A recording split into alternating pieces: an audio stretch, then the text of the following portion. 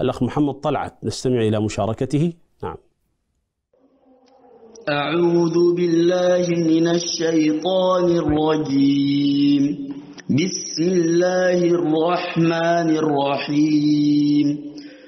وإذ قال ربك للملائكة إني جاعل في الأرض خليفة.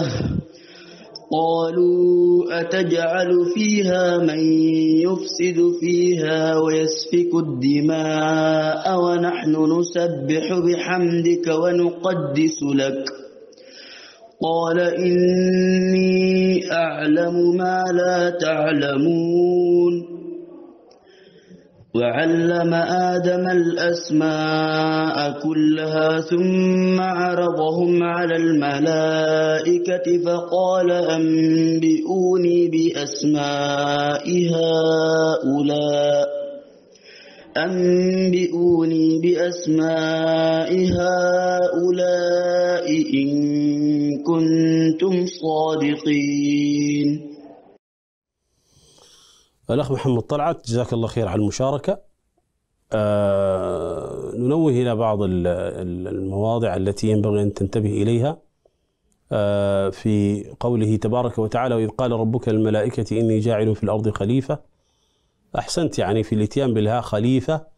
قالوا أتجعل فيها من يفسد فيها ويسفك الدماء؟ ونحن نسبح بحمدك ونقدس لك. قال إني أعلم ما لا تعلمون. وعلم آدم الأسماء كلها ثم عر عرضهم. يعني تأتي تفخم الراء. ما نقول عر عرضهم. لا. عر عرضهم. فتظهر الراء مفخمة. لأنها مفتوحة. عرضهم على الملائكة. فقال أنبئوني. هذا يعني قلب أو إقلاب وسنتحدث عنه في الحلقة القادمة إن شاء الله نتحدث عن هذا الحكم لأهميته. لكن النطق الصحيح هكذا أنبئوني نقلب النون الساكنة ميما مخفاة لدى النطق بالباء. هكذا أنبئوني أنبئوني آه يعني آه ميم مخفاة. ولما نقول ميم مخفاة لا بد من آه يعني إطباق الشفتين. لكن من غير آه يعني كز كما قال ابن الجزري رحمه الله من غير تشديد. هذا الكز الذي ذكره ابن الجزري الصحيح هنا في هذا الموضع في موضع القلب وليس في آه التكرير. هذا سهو مني.